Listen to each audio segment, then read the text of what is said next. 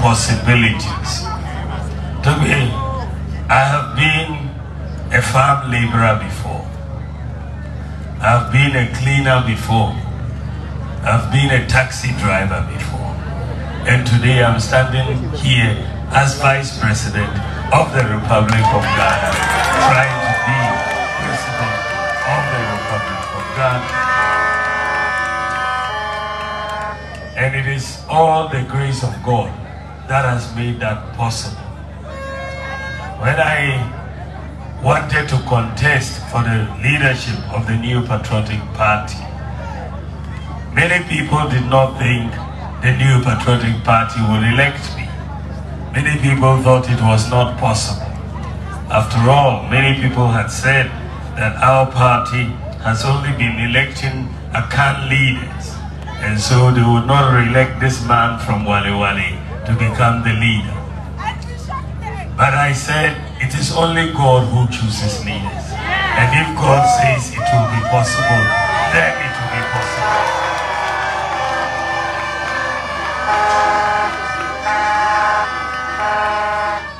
So we contested. We were 10 of us who contested. And nine of us were Akan, and I was the 10th one. But the party decided overwhelmingly by a vote of 61% to vote for Dr. Mahamudu.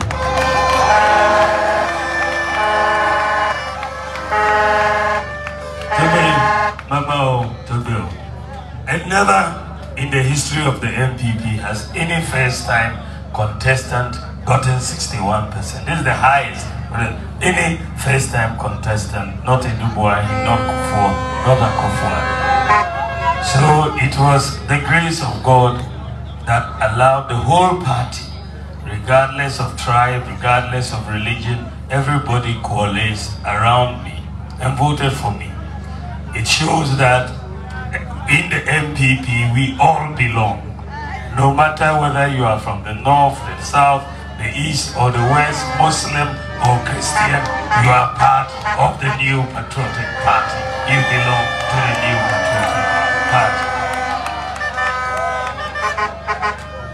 I believe in impossibilities, as I said.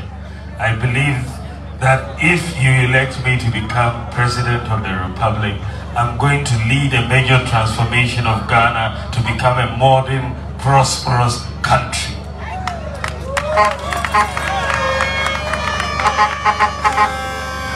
If you look at my work in support of the president over the last eight years as vice president, you see my philosophy in governance. My philosophy is inclusive governance to make sure our development is broad-based, covers all the country, everybody. That is what I want to see in Ghana.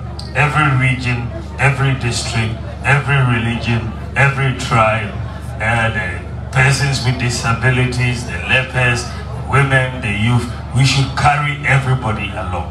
And I want that to be my philosophy if I become a president and continue in that. When we were campaigning for 2016 election, we made a major promise to the people of Ghana that we will bring free senior high school education to Ghana.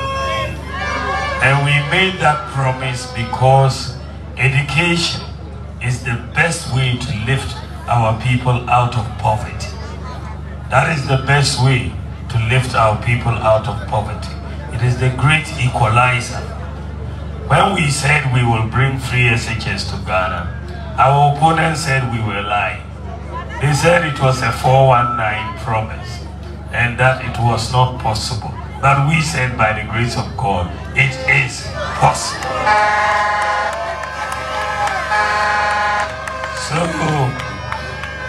when we got into office in 2017, the president called me and asked me, can we implement free SHS this year, that is 2017. I said, yes, Mr. President, we can implement free SHS this year. So the first budget in March 2017, we put in free SHS and started it in 2017. We've operated free senior high school education for the last eight years and 5.7 million children have gone to senior high school free under our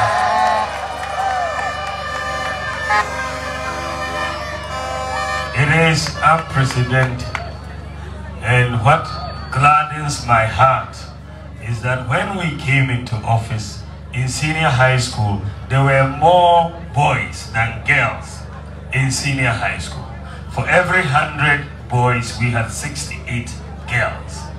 But today, after eight years of senior, free senior high school education, today there are more girls than boys in senior high school. Today, for every 100 boys, we have 106 girls. And what is also remarkable is that the performance of the students in the senior high schools has gone up. Initially, people were worried that quality will come down. When you look at the WASSCE exams, in 2016, the pass rate was 45%. By 2023, it has gone up to 64%.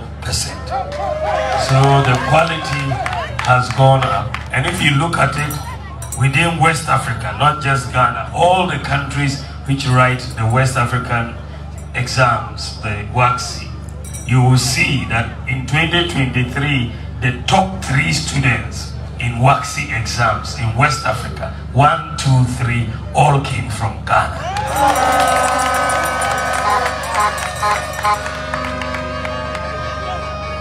You also see that in 2016, we had major challenges in the senior high schools. Even chalk was a problem. Chalk was a problem. But today, today, we are buying computer tablets to distribute to every single senior high school student in Ghana all the students are going to get tablets, computer tablets, and all their textbooks will be on the tablets. This is unprecedented, and we are not only doing it for the students, the teachers are also getting laptops.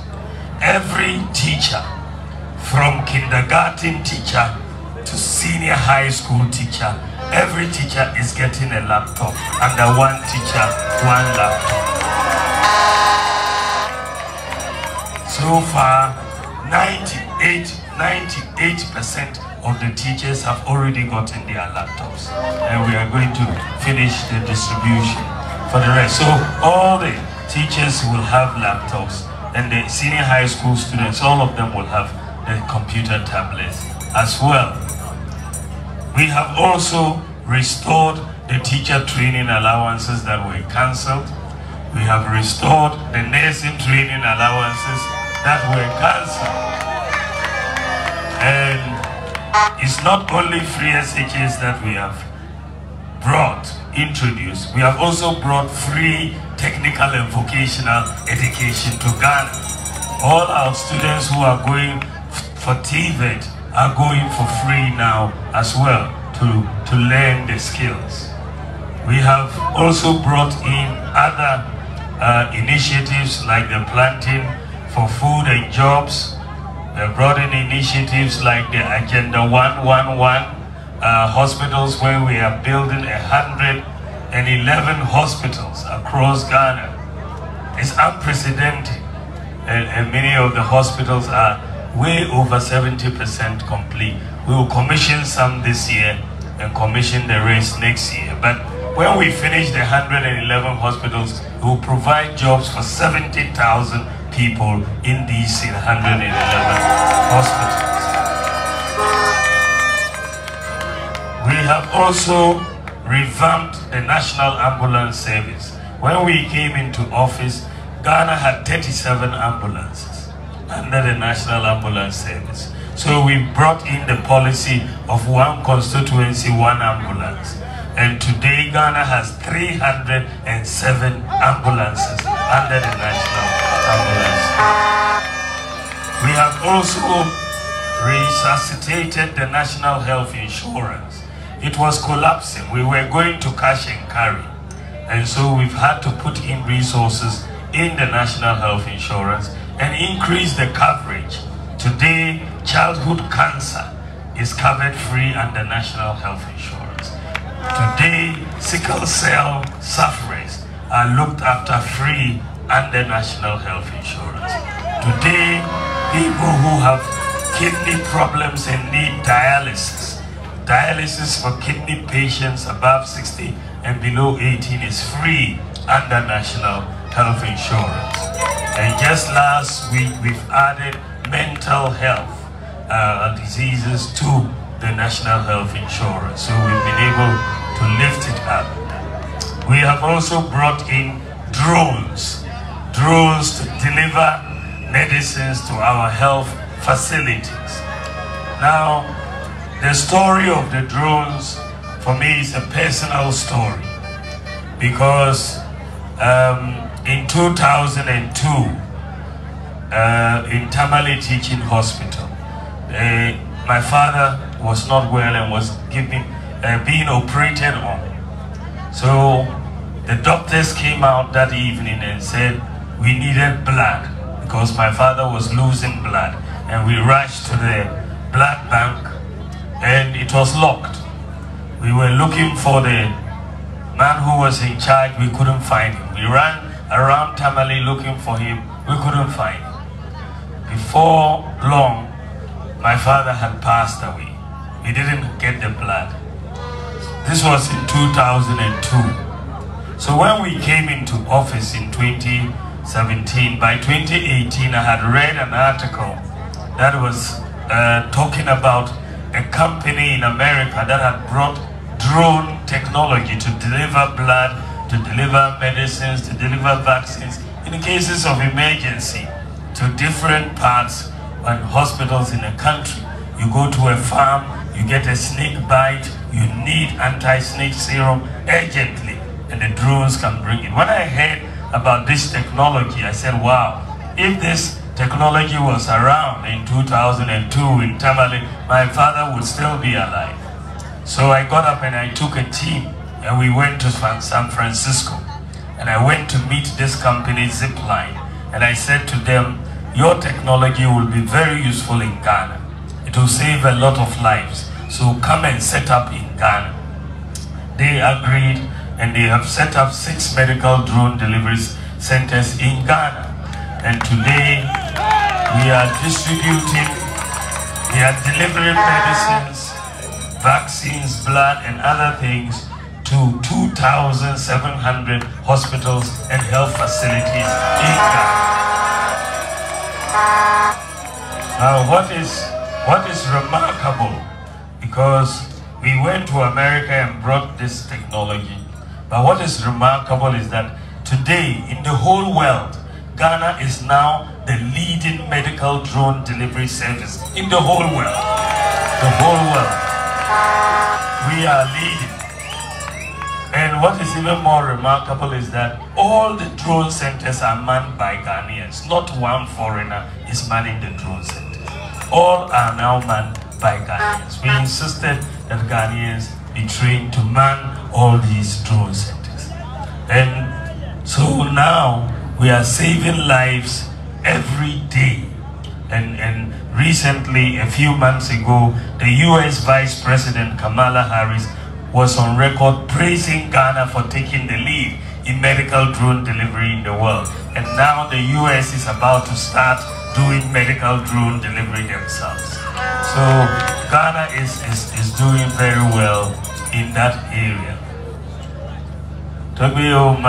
We also have done other policies. I want to mention three in the area of digitalization and you will see later on why I'm mentioning those three in particular. First of all, we did the Ghana card to get a national ID database. So today, 85% of Ghanaian adults, 18 million people, have been issued with Ghana cards.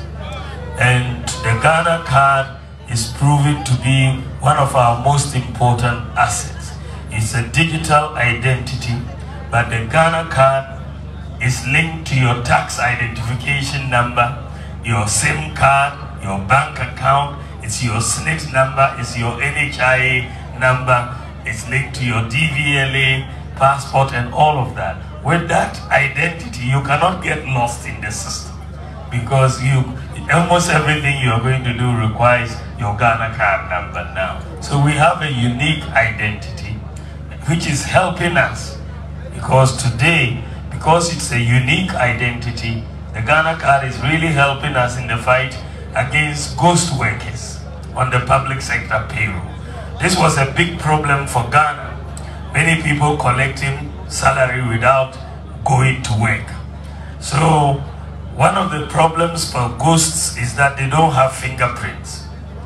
Ghosts don't have fingerprints. So when we issued the Ghana card, I said, let's take the card to go and catch the ghost and match everybody on the payroll with their Ghana card. The first institution we went to was SSNIT. So we went to SSNIT and we matched all the pensioners with the Ghana card and we found 29,000 ghost pensions on the SSNIT payroll. 29,000. We, we've taken them out and we saved SSNIT 400 million Ghana cedis plus. We went to uh, National Service Secretariat and we found 44,000 ghost National Service personnel. We took him out, we've saved 300 million Ghana cedis. We have wiped out all the ghost workers on controller and accountant general payroll. So today, thanks to the Ghana card, we can say Ghana, the public sector has no ghost workers on our payroll anymore. Today, because of the unique identity the Ghana card provides, if you are a student and you want a loan, student loan, you will no longer ask for a guarantor because the Ghana card is sufficient. You cannot run away or know where you are. So we don't need a guarantor anymore. And the Ghana card is now the guarantor for student loans in Ghana. Today, we have done something unique with the Ghana card for an African country. We have gone to register the Ghana card at the International Civil Aviation Organization in Canada, Montreal. The Ghana card has been taken through all their steps. It has passed all their steps. So today, the Ghana card is recognizable in 44,000 airports and border points across the world. 44,000. So if, for example, you happen to travel anywhere in the world, whether it's China, whether it's America, Japan, Saudi Arabia, uh, Senegal, anywhere in the world, if you lose your passport, for example, your passport gets missing, you can take your Ghana card and board a plane from China or Saudi Arabia to Ghana. The Ghana. We are the only country in Africa where you can do this.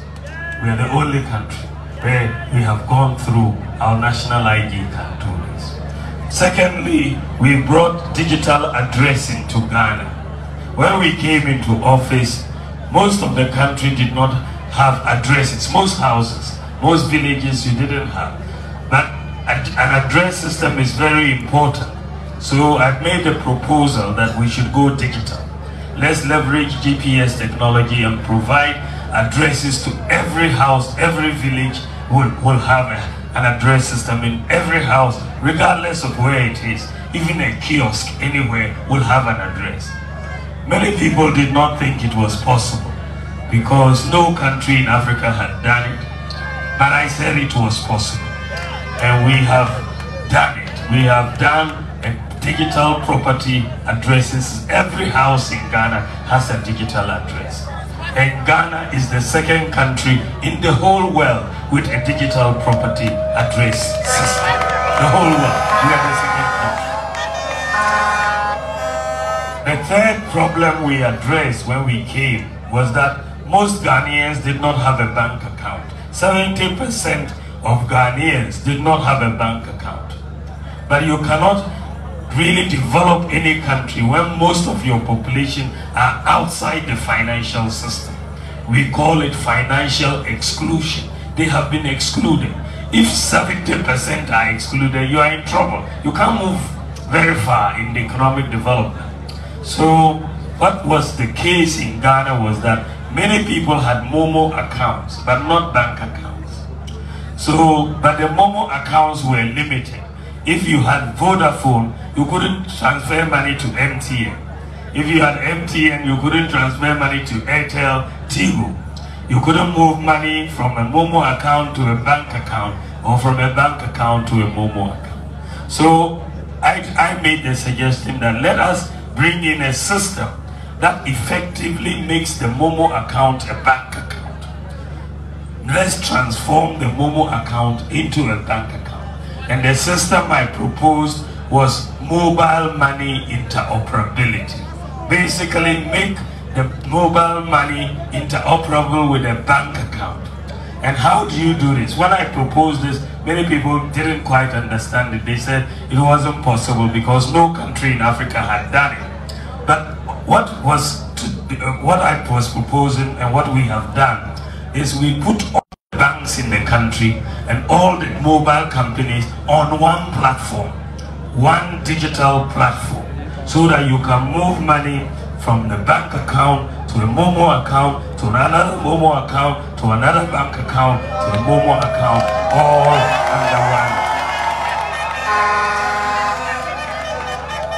So that is what was called interoperability. Because no country had done it in Africa, the, the people doubted whether we could do it. But we have done it. And Ghana is the first country in Africa to do it. And you can move money through different um, channels. And so with, with that now, the Momo account in Ghana is very different from the Momo account in other countries because the Momo account in Ghana is effectively a bank account because of the interoperability. So because of that, today, if somebody sends you money from abroad, it comes straight to your mobile phone. You don't have to go to Western Union again to cash the money. It comes straight to your mobile phone. You can stay at home, lie on your bed, and renew your national health insurance on your mobile phone. You don't have to go anywhere. So we were able to do this. We are the first country to do it in Africa. By the way, America doesn't have mobile money interoperability. Canada doesn't have it. The UK, we are ahead of them in this technology. We are ahead of them in this technology. So we were able to do these things. Now, the time has come, I believe, to go to the next level. And this is why I want us to support me to become president. I believe that as president, I can take Ghana to the next level. We have put in place a lot of foundational pillars that I want us to now move to the next level to, to transform Ghana and to create jobs for our youth. If you look at, I'm going to move into one major policy I want to bring if God makes me president of this country. One of the major things that we you see in the advanced countries like the UK, Canada, France, Germany, Australia, all the advanced countries, you will see that life is easier over there than in Ghana or other African countries. Life there is easier in the advanced countries because they have one system that makes life easier for them. That system is called a credit system. That system is called a credit system.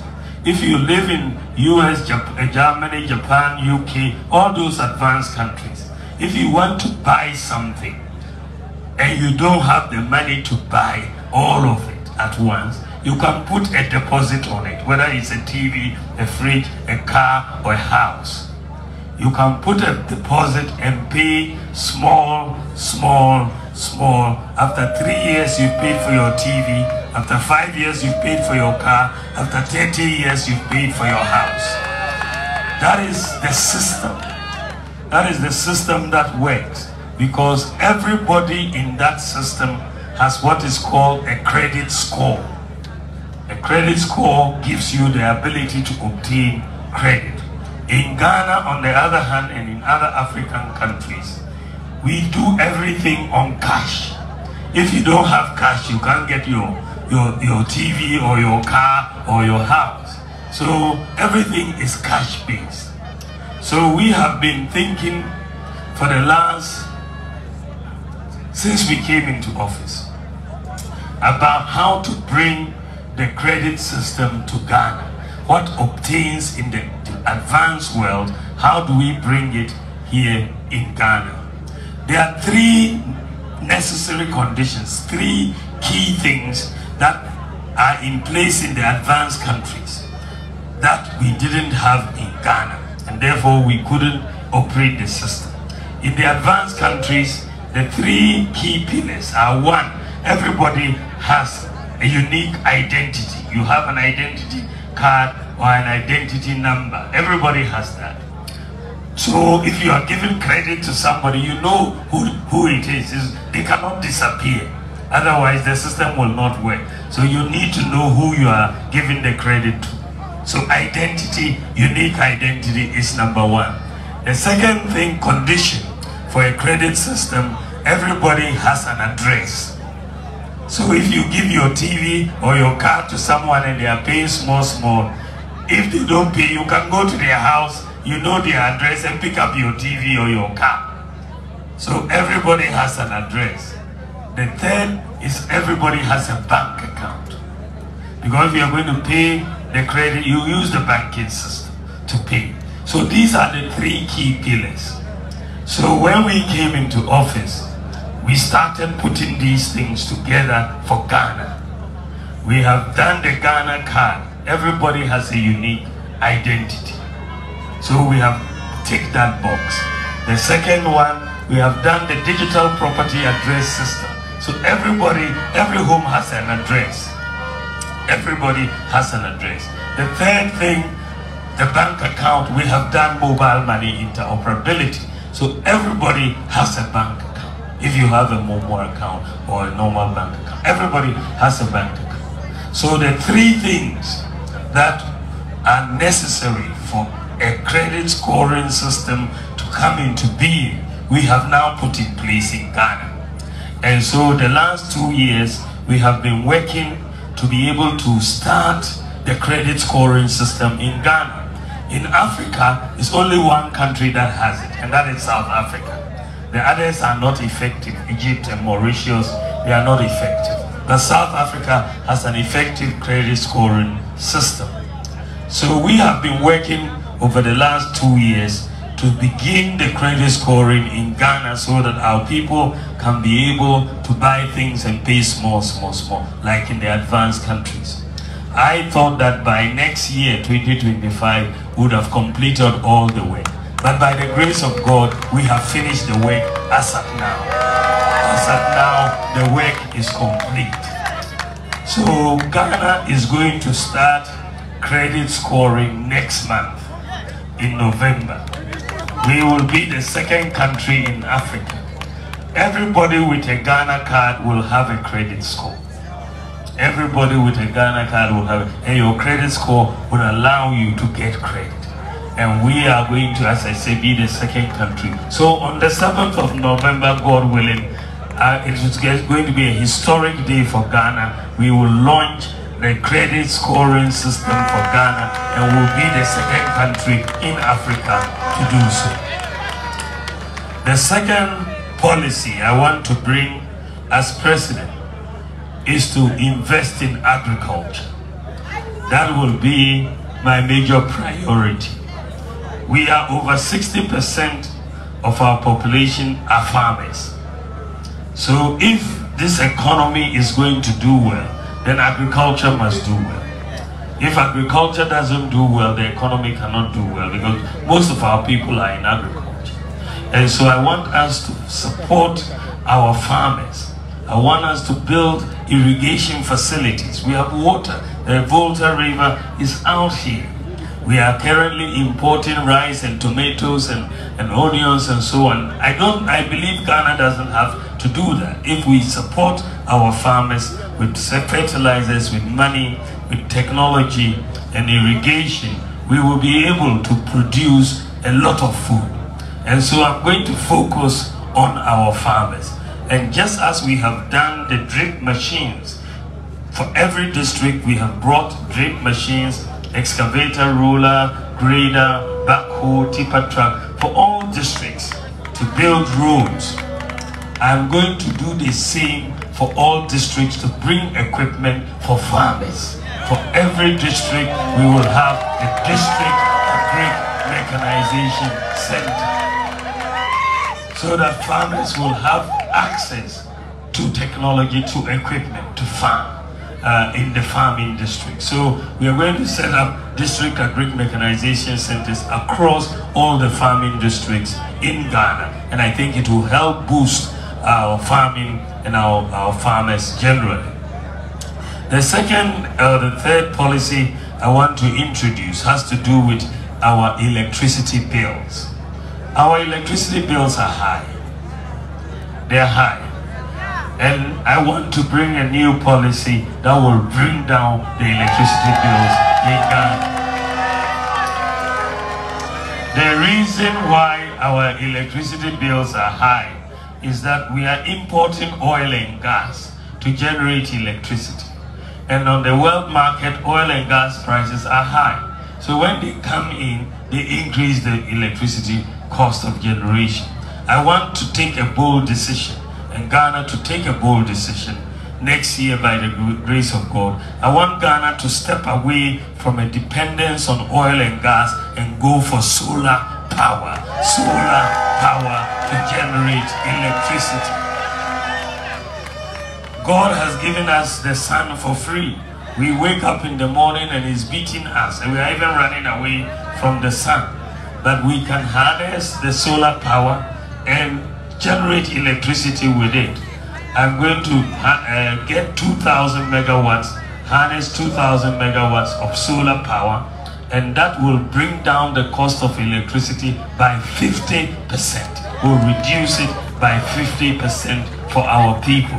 If we do that, it will increase production because businesses can do more if the cost of electricity is less and bring more jobs for our youth.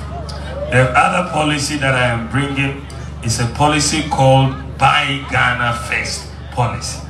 Buy Ghana First means that we should, government should not be importing if the goods can be made in Ghana.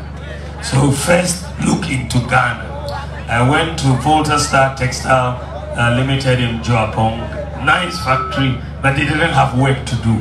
Why? Because the school uniforms and things they were making are now being imported from China. And so there's no work for our people. And I said, this is wrong. In fact, that's where I formulated the Buy Ghana First policy. I said, we are bringing in a law when I become president to make sure that all government procurement will first be from Ghana.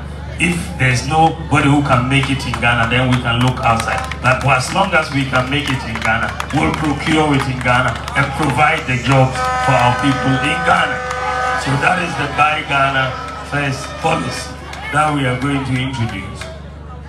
I'm also going to help women traders. Women traders need capital. They need soft loans to expand their businesses. So I'm bringing in the Women's Trade Empowerment Fund.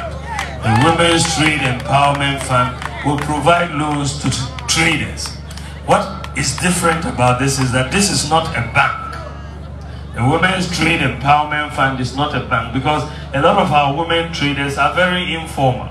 Someone is just selling, you know, waakye or banku or whatever and wants to expand. They need a loan. If you say go to the bank, they are even intimidated to go to the bank.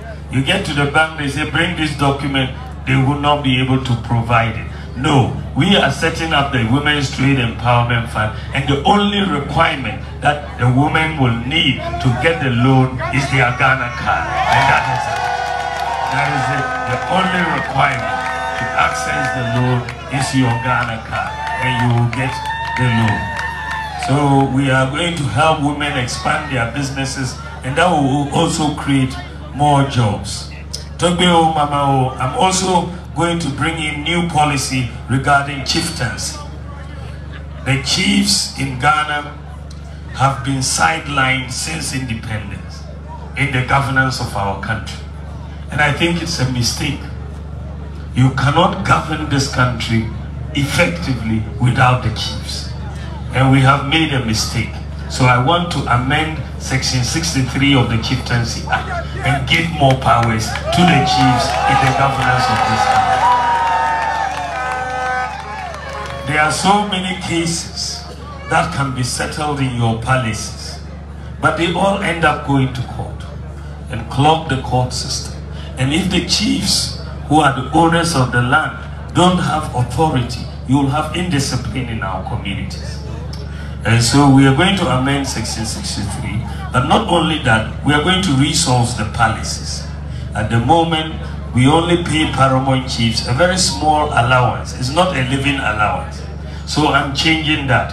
We are going to pay living allowances to paramount chiefs, queen mothers, and divisional chiefs in the chieftaincy institution.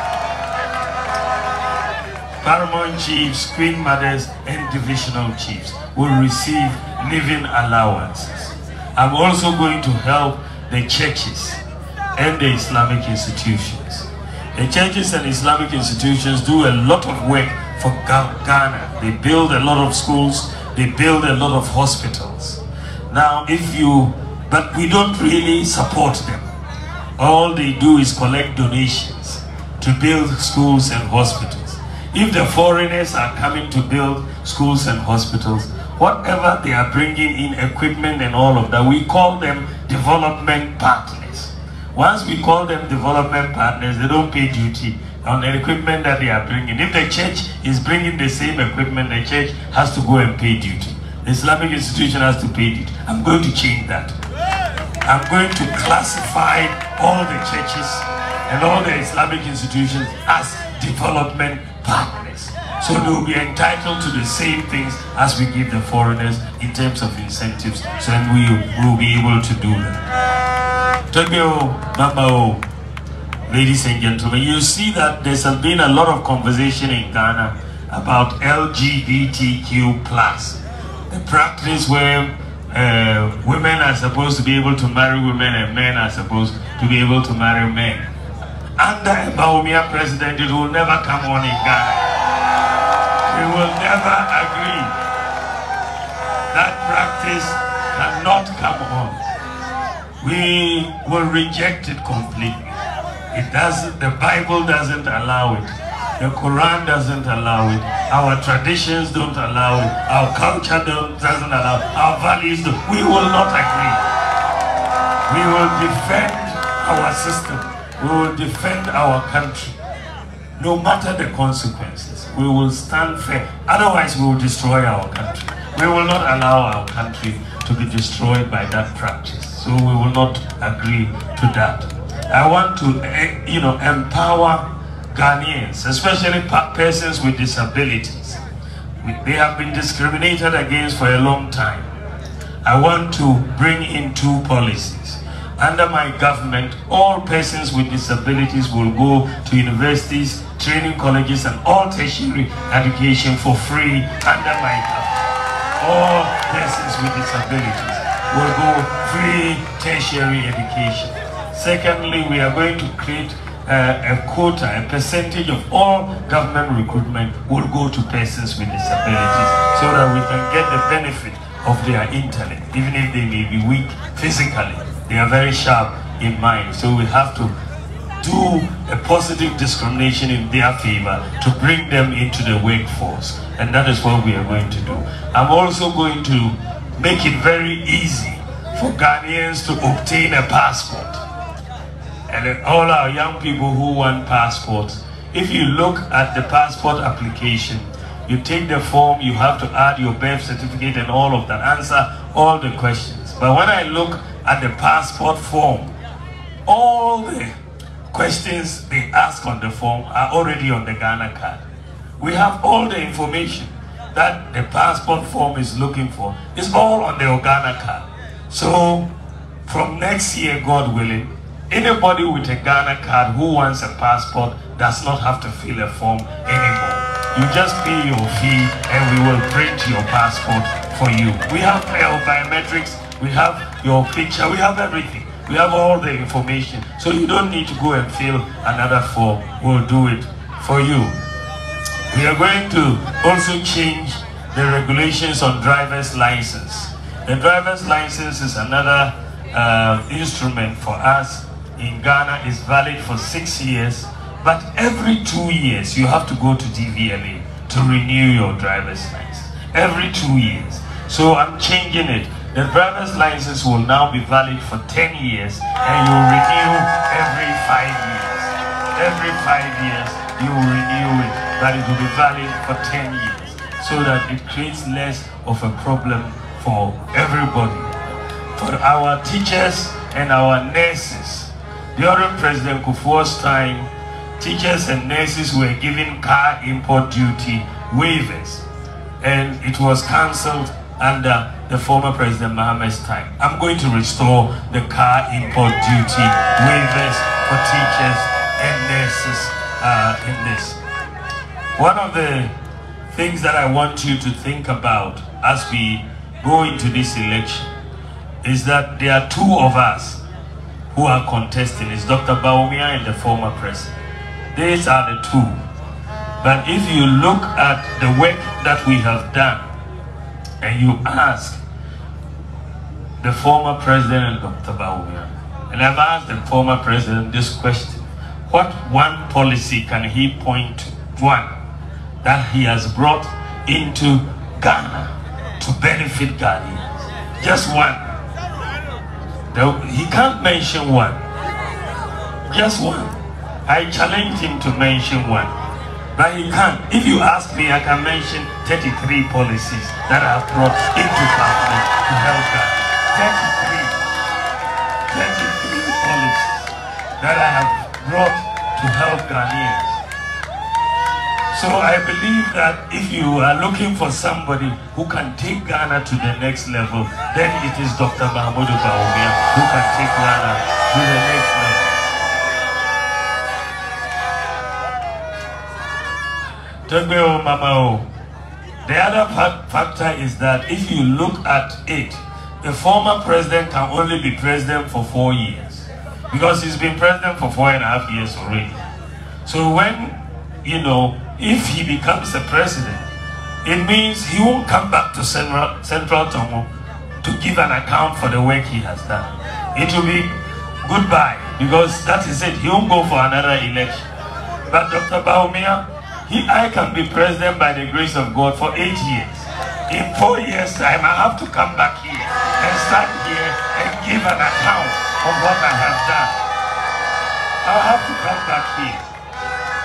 I have to show how these ongoing projects have been completed. The Mafi Kumasi market, isn't it? I have to show. I have to show whether we are able to do irrigation facilities or tourism or the agricultural institute that the Togbe has asked. These are all requests of, of Central Tongu. So when I'm when I get to Jubilee House, I have that in my mind. I've written everything down. I know this is what I have to do for the people of Central Tongu. So when I come in four years' time and I give an account, you will say, Dr. Bawumia, well done. We are, we are, this continue, continue, continue. So, this is why I believe that you should give me the steer so that I can drive us to the next level.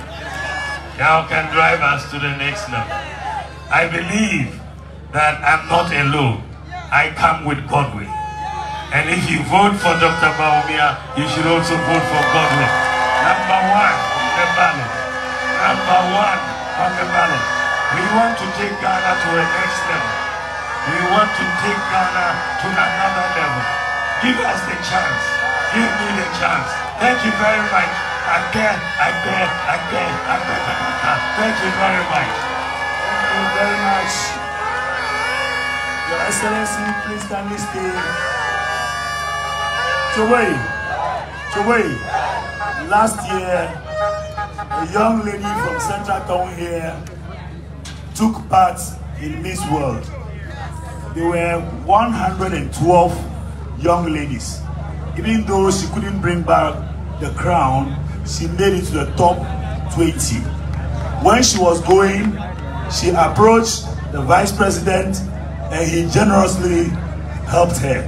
She is here today to make a presentation uh, to thank the vice president. So, Miriam Kolasi. Hello,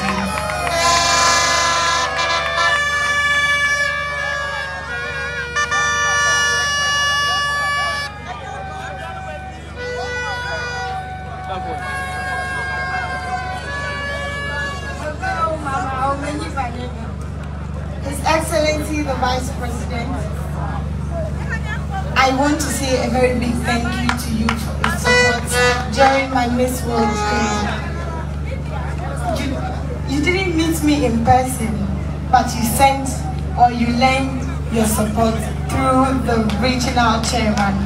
And for that, I am very much grateful.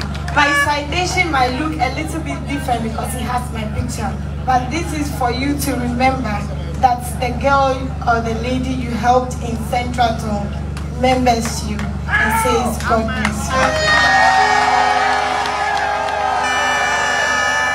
Thank you, Your Excellency. Central Tongu people say stay a little bit longer. Nyakwe tɔgbi wo mi be enu nana via le esi bi ɔkɔ ne ɛɛ next president.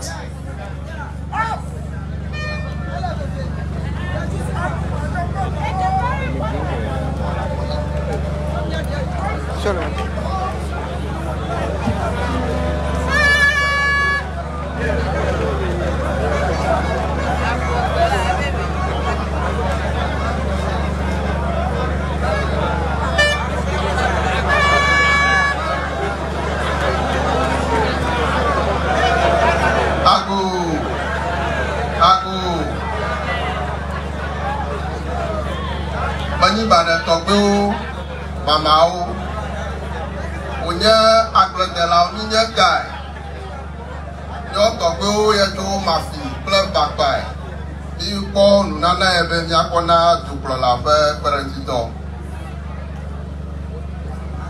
Yemeŋlɔ kpovie dzi ablio. Your Excellency, the Vice President of the Republic of Ghana, who also double as the presidential candidate for New Patriotic Party. Since I've stated in my address that we are farmers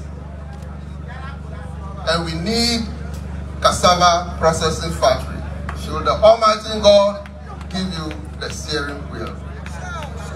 Also, Remember, we want our farm institute here in Atidoma to be changed into veterinary college because we rear a lot of animals. As you can see, on behalf of the chiefs and people of Mafi and Bakba, also Ovieji, we present this item to you, one big ram and big sack of curry so that you can have a taste of the way we prepare our curry here. When we go back, you come back and come and say that, oh, the people of Mafi, Bapa, and Koveji, I want to take some of your curry again. On this note, we thank you and thank you very much. Thank you. Yes, thank you very much. Ebe ekwe dakpe, chogwe, chogwe. Be, jibe miawo dedefia ya. Be, le next president ƒe dzodopia.